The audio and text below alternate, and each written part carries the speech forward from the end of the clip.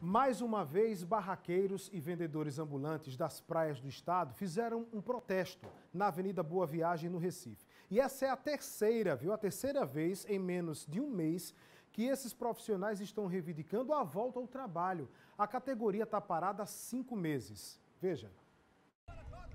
Esse trecho da Avenida Boa Viagem foi interditado por barraqueiros e vendedores ambulantes das praias de Boa Viagem, Pina e Jaboatão dos Guararapes. Alguns sentaram no chão para impedir a passagem dos veículos. O protesto estava sendo acompanhado por agentes da CTTU e policiais militares. Os PMs tentaram convencer as pessoas de encerrar a manifestação. Nesse momento, teve bate-boca. Os barraqueiros resistiram.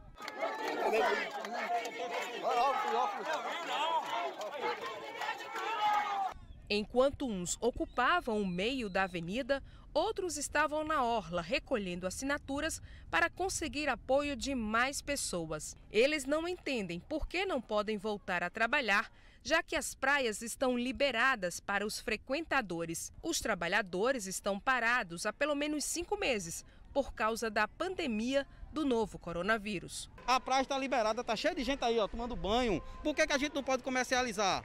Porque isso aqui não contamina, só a gente que vem comercializar é que contamina. Só a gente, comerciante, que estiver trabalhando, ganhando nosso pão suado, que contamina. Dona Rosa, que vende água mineral, disse que está enfrentando dificuldade financeira. Nós estamos reivindicando os nossos direitos. A gente paga água, a gente paga luz, a gente precisa se alimentar. Na nossa casa, na minha casa, está faltando o básico, está faltando o arroz e o feijão. Não é justo isso. São muitas as reclamações. Enquanto isso, tem pessoas aí entrando em atrito, passando fome, passando necessidade, com desespero, sendo despejado dos aluguéis, porque não tem condição de pagar.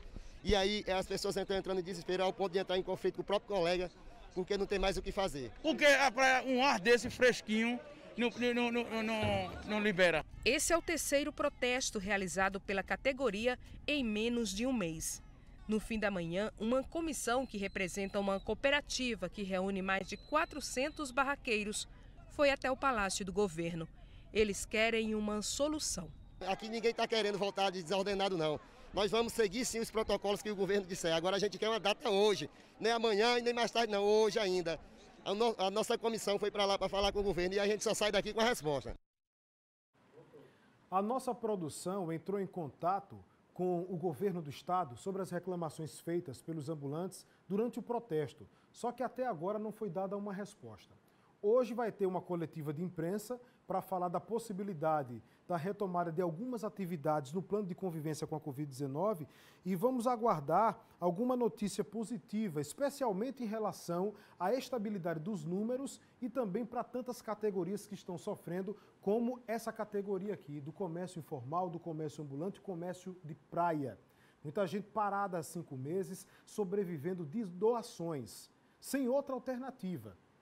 Então tá aí, vamos aguardar é, alguma novidade na tarde de hoje ainda, né?